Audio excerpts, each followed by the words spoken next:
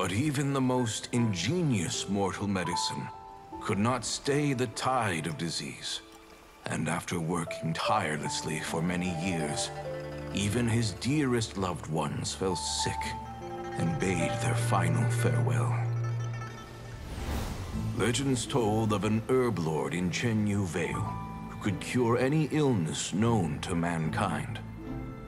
The doctor sought the herb lord, but found only a white snake, its breathing weak and its power all but spent. Sign this contract. Lives of others. And generation upon generation followed in these footsteps.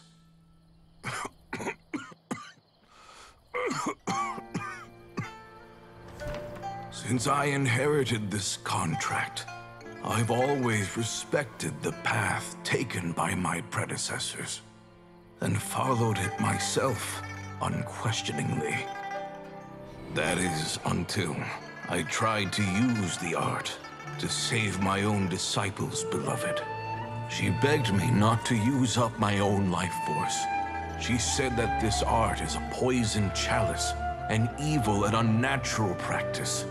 She did not wish to sacrifice one life for the sake of another, when both were lives she treasured.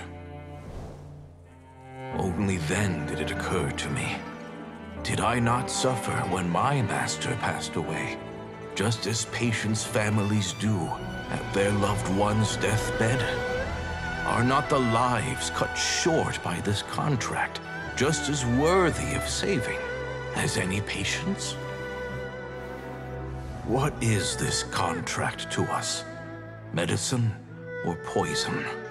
Alas, I no longer have enough time left to find the answer.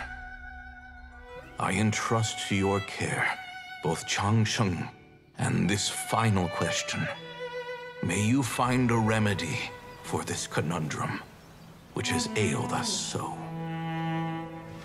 Time and again, no matter how much I try to warn them or balance their chi, I can never save them. And you? What's your answer? If I abandoned the contract and left you without a host, what would happen? Hmm. I suppose I'd spend my final moments taking a nice nap on Mount Yaojin. Then I'd be reunited with my old friends and your predecessors. Then it's decided. If there's a life in front of me that deserves to be saved, why shouldn't I do everything within my power to save it? Once again, it's the same answer. So be it. Close your eyes. Who knows how many more people will take on this contract? None. This contract will end with me.